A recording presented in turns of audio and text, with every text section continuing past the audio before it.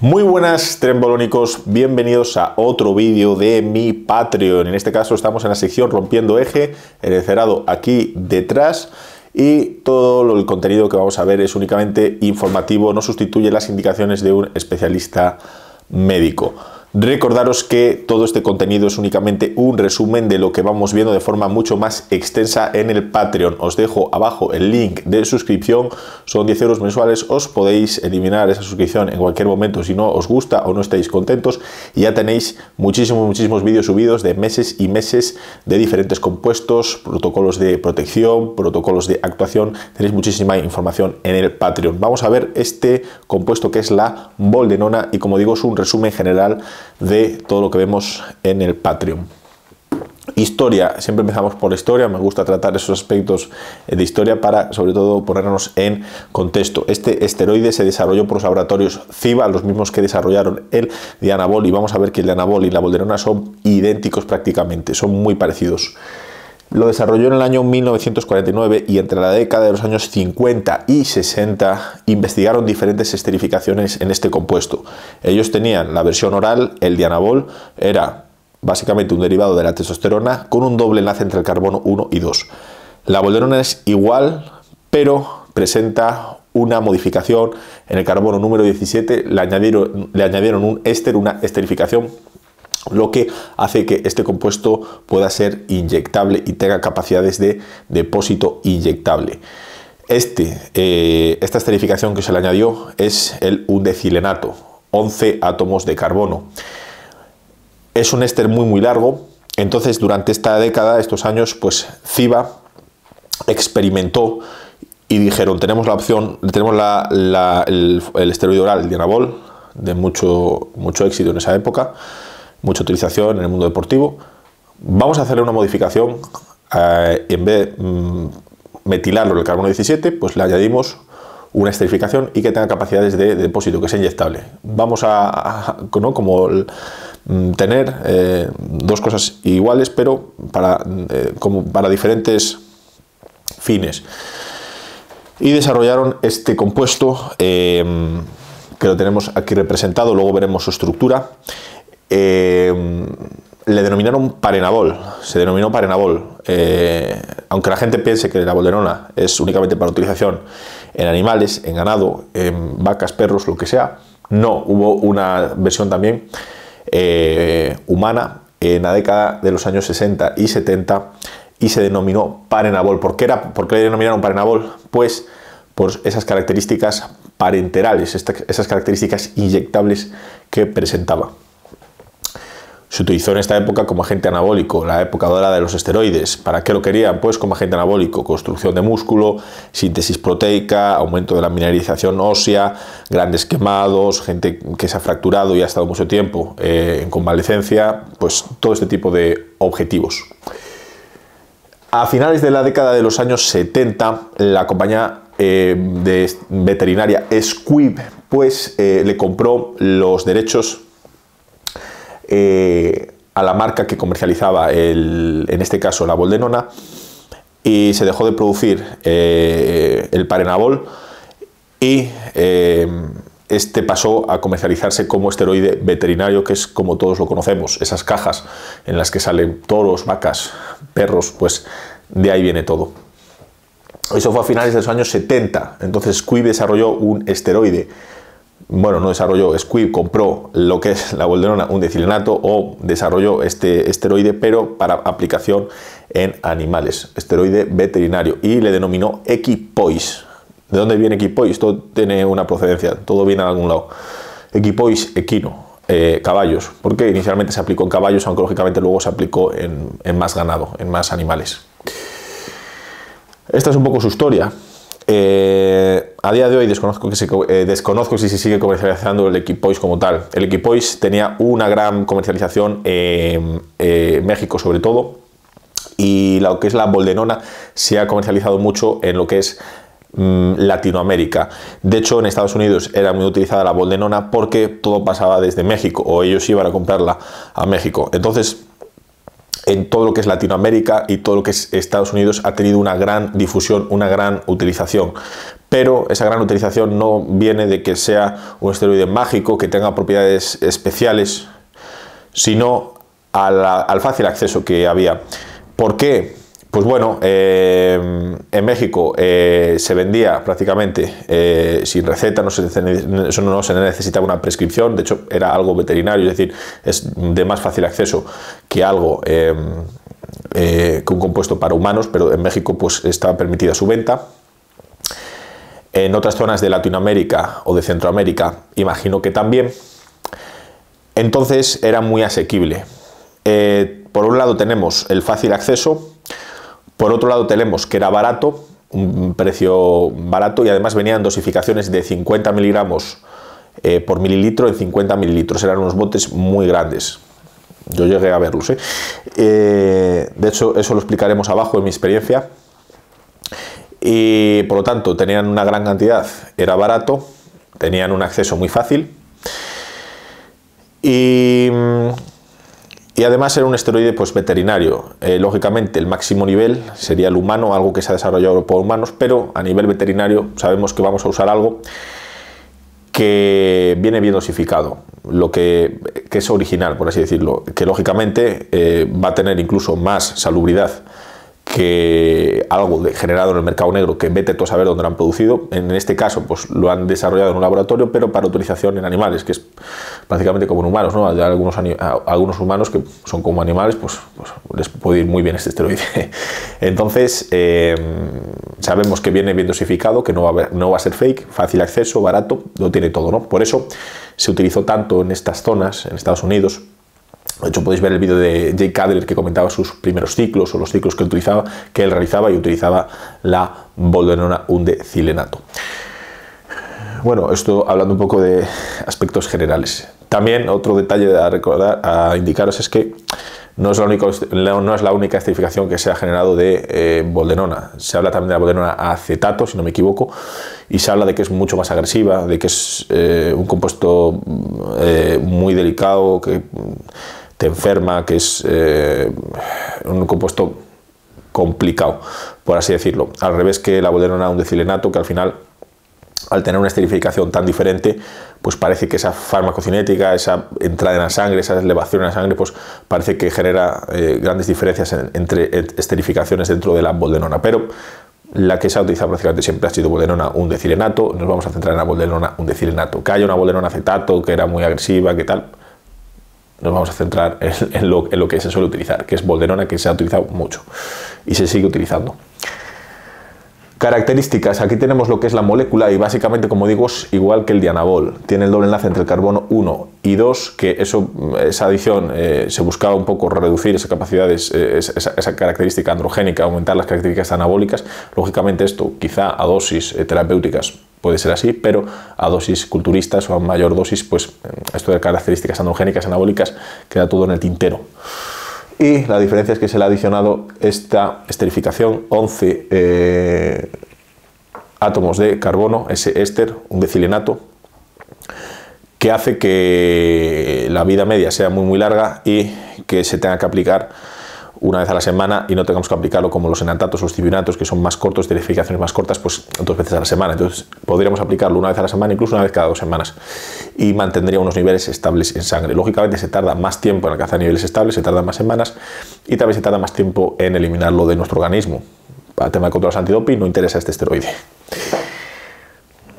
Es una forma modificada de la testosterona. Sí, es básicamente la misma estructura que la testosterona. Como dije, es similar al Dianabol, pero con una esterificación.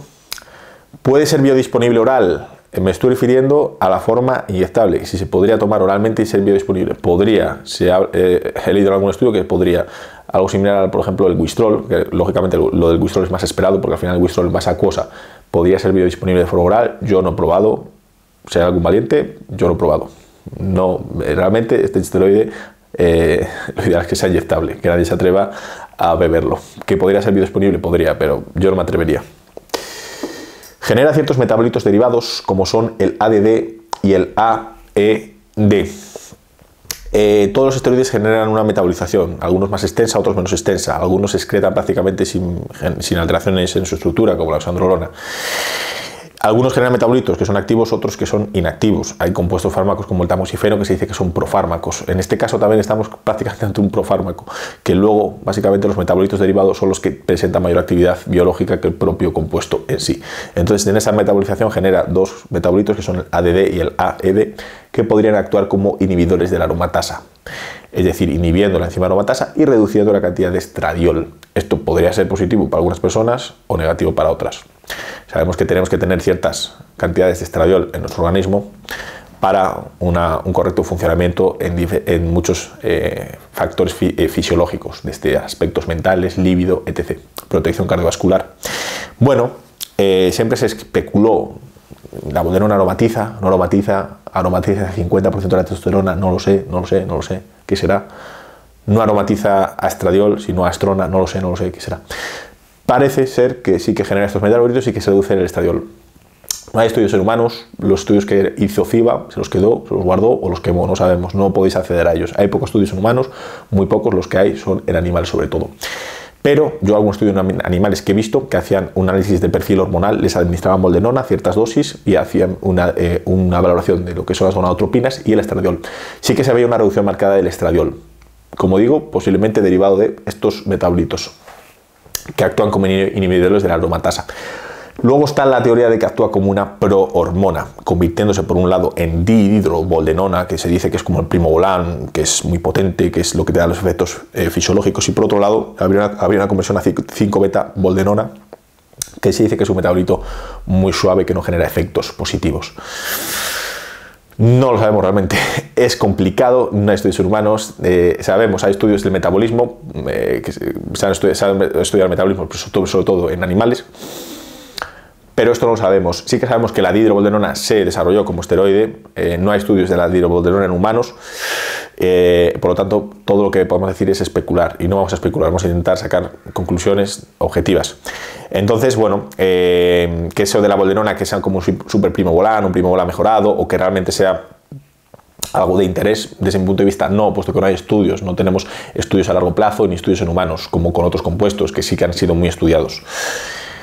Eh, entonces, sí que podría ser que actúe como una prohormona en este caso, convirtiéndose en ciertas eh, personas em, en dihidroboldenona o presente una mayor conversión en dihidroboldenona y esas personas experimenten efectos beneficiosos y otras personas no lo noten prácticamente.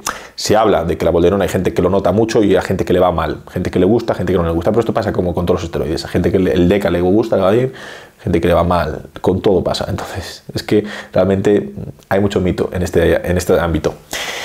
Pero eso siempre se ha dicho, que habría gente, había gente que le, que le va muy bien a boldenona porque presenta mayor conversión a boldenona a nivel enzimático y gente que le va muy mal, que no lo nota prácticamente, ha gastado el dinero, he tirado el dinero aquí en una caja que aparece la cabeza de un mono, no de un mono, no de una vaca. ¿Qué he hecho? Eh, joder, mis ahorros. Bueno, es barato. Eh, ¿Por qué presenta una conversión a 5 beta, eh, beta boldenona? Entonces, no lo sabemos realmente. ¿Podría ser? Sí, podría ser. Efectos secundarios. Eh, tenemos alteraciones lógicamente en el perfil lipídico. Eh, como todos los esteroides anabólicos van a generar una alteración eh, en el perfil lipídico. Que esta alteración sea menos marcada que con esteroides orales, pues sí, posiblemente sea una alteración menos marcada, pero todos los esteroides van a reducir ligeramente sobre todo el colesterol HDL, generando cierta dislipemia. Hematocrito. Siempre se ha dicho también que la bolderona aumenta mucho el hematocrito. Todos los esteroides aumentan el hematocrito, la testosterona aumenta el hematocrito. Aquí un poco entra en función la dosis. Eh, la bolderona siempre se ha utilizado en dosis muy altas. La gente dice que es que necesitas por encima de 500 600 miligramos para notarla. Cosas que yo nunca he entendido. También dicen lo mismo del primo blanco, coño. 100 miligramos de primo va a hacer efecto, 200 va a hacer efecto, coño. Empieza de menos a más. No, es que la bolderona, de hecho, yo conozco una persona que me dijo que se empezaba a notar a partir del gramo y medio la bolderona. Y yo me quedé. Del gramo y medio se empieza a notar. Joder mis respetos, mis respetos, pero a partir del gramo y medio, joder, pues, vaya forma de experimentar ¿no? con los compuestos. A, partir del gramo y medio, yo hay cosas que no entiendo, pero bueno, seré yo que estoy loco. Entonces siempre se dijo eso de la boldenona, que es que no la notas hasta que metes 600 miligramos. Vale, es una esterificación lenta, se, tarda más tiempo en alcanzar niveles estables, pero eh, nunca entendí yo eso. No lo entendí nunca. Entonces, eh, lógicamente, al dosificarla en dosis tan altas, pues de eso se deriva de que el hematocrito pues, se va a disparar. La testosterona es un poco igual. A mayor dosis, pues lógicamente pues, eh, la tendencia a, generar esos efectos secundarios será mayor. Entonces no creo realmente que sea un esteroide especialmente diferente a generar una elevación del hematocrito, que, que podría ser realmente no hay mucha diferencia luego eh, comparando las dosis efectivas de unos compuestos con, otros. Todos van a elevar el hematocrito, todos van a generar cierta dislipemia, eh, viendo lógicamente luego esas pequeñas características que tienen, pero realmente no hay muchas diferencias en ese aspecto. Yo creo que al nivel del hematocrito no es incluso más agresiva que la testosterona para el hematocrito va a depender mucho de la dosis. Si la dosificas tan alta, pues lógicamente se te va a disparar el hematocrito. Si eleva, lógicamente todos los esteroides elevan el recuento de glóbulos rojos, eh, la hemoglobina, eritrocitos, todo elevan el hematocrito. Eso sí, eso en todos es común. Ansiedad, se habla de que genera ansiedad, de que da hambre, de que va mal en definiciones, eh, puede ir en bien en volumen.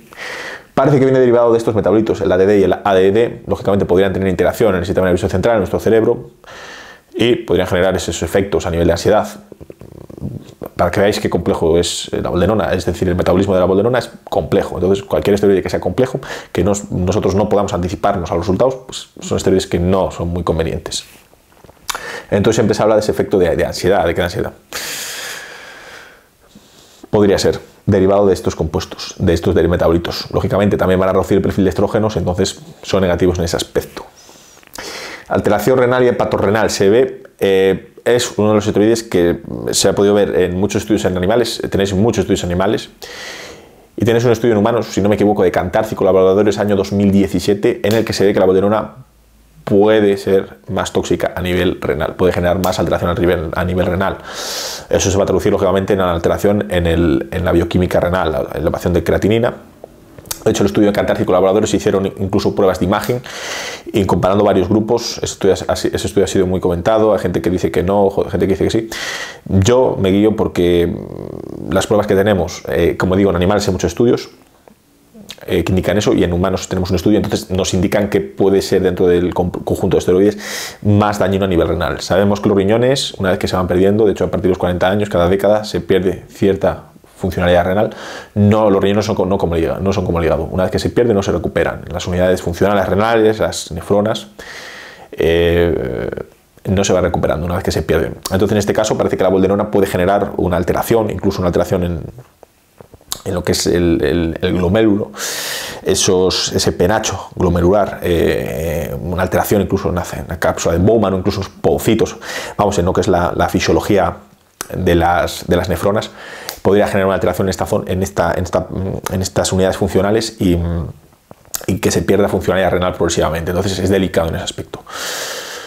Habría que hacer más estudios, pero como digo, los estudios anabólicos se quedaron en los años 50 y 60. A día de hoy no haber esos estudios, pero no sería muy complicado. Coger grupos, evaluarlo, tal, hacer estudios controlados, eh, longitudinales, pero va a ser complicado, muy complicado. Lo, poco que tenemos y lo, poco que sabemos nos, da esa indicación de que la bolderona a nivel renal podría ser más tóxica. Entonces yo me alejaría.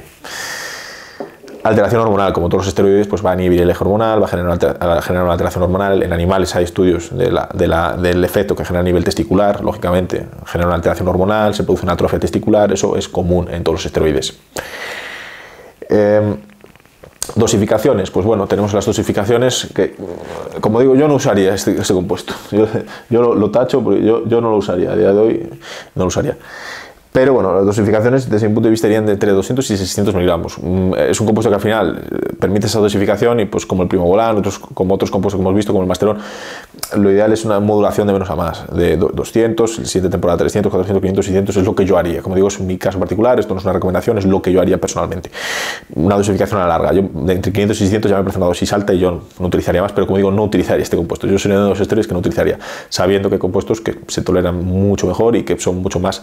Eh, predecibles, esa es la palabra, predecibles. Mi experiencia, eh, yo utilicé hace mucho tiempo ya, hace 4 o 5 años, una temporada Equipoise. Me vais a preguntar qué notaste, no, no sé, no sé. Mezclé Equipoise con testosterona, con Primobolan, no lo sé, y con Dianabol, no lo sé, no lo sé, realmente. Creo que eran 200 miligramos a la semana lo que utilizaba yo, y eran esos botes grandes, esos frascotes que ponía 50 miligramos por mililitro, 50 mililitros. ¿Qué problema hay aquí? Pues que es una dosificación que lógicamente hoy en el mercado underground ya te venden eh, formatos de 200 miligramos por mililitro hasta 300 creo. pues joder, era una dosificación en la que tú tenías que utilizar muchos mililitros. Entonces, eh, para aplicar todo ese aceite, delicado. Delicado. Em, yo no tuve problemas de acceso ni nada de eso pero lógicamente tanta cantidad de aceite, pues bueno, depende del tipo de aceite. En el mercado underground ya sabemos que los excipientes es complicado y depende de la mezcla que hagan, el, incluso el alcohol bencílico, el, lo que utilicen ellos para la mezcla, pues puede dar problemas, reacciones alérgicas, eh, reacciones inmunitarias, de eso eh, sí, eh, con otros compuestos he tenido problemas. Pero bueno, yo en este caso la bodenona, pues como digo, yo creo que utilicé 200 miligramos a la semana durante, no sé si fueron 6, 8 semanas, no fue mucho tiempo y no lo volví a utilizar más. Entonces yo, como digo, no soy una persona que te pueda eh, contar mi experiencia de forma amplia con este compuesto porque realmente no he experimentado prácticamente con él. Lógicamente luego ves los resultados a nivel eh, alteración renal, etc, etc. Y a día de hoy me alejaría. Entonces, bueno, lo que, lo que os puedo comentar es que es un poco incómodo porque son muchos mililitros. De hecho, para aplicar estos 200 miligramos, pues son 4 mililitros, que es una aguja grande. Pues aunque lo repartas en dos días, pues bueno, pues son bastantes mililitros comparado, con otros compuestos. Sobre todo estas, estas versiones que venían del Equipoise, el, el, Kigan y todo eso igual, son 50 por 50. Entonces, bueno, un poco incómodo a nivel de aplicarte, pues imaginaos la gente que se aplica ya son 400 miligramos, pues estamos hablando de 8 mililitros a la semana, entonces es demasiado aceite repartido por el cuerpo. Como digo, depende de ese aceite, lógicamente, a mí la versión eh, veterinaria no me dio problema ninguno, pero a, nivel de versión, versiones underground, depende de los excipientes que utilicen, incluso cada laboratorio, pues depende un poco la disponibilidad de cada excipiente, pueden cambiar, pueden usar eh, tiloleato, eh, pueden usar cosas que generen incluso alteraciones inmunitarias en una persona porque es mucha cantidad de, es mucho volumen de aceite. Entonces eso podría generar algún problema. Es, algo eh, es que lógicamente a nivel underground no eh, la dosificación cambia, pero por ejemplo en este tema pues eh, es demasiada cantidad de aceite en el cuerpo, también demasiadas aplicaciones, es un poco incómodo ese aspecto. Entonces, bueno, este ha sido el vídeo, chicos, de lo que es la bolerona. Yo es un esteroide que no utilizaría a día de hoy por esta información que tenemos que puede ser más dañino a nivel renal, a nivel hepatorrenal, tanto en animales, algunos estudios en humanos, pues las, pruebas, que tenemos, de lo poco que tenemos, tenemos que guiarnos y orientarnos. Un esteroide característico porque ha sido muy utilizado en estas zonas, como digo, en Latinoamérica, por, esa fácil adquisición. Se decía que era muy bien tolerado, que incluso en mujeres se puede utilizar, pero como digo, parece que no era tan, tan, eh, no, es, no es un esteroide tan amable como parecía. Eh, todos tienen sus características principales, sus características generales y todos son eh, diferentes en ciertos aspectos. Entonces, este ha sido el vídeo, chicos. Espero que os haya gustado y nos vemos en próximos vídeos en mi Patreon. Un saludo muy, muy fuerte.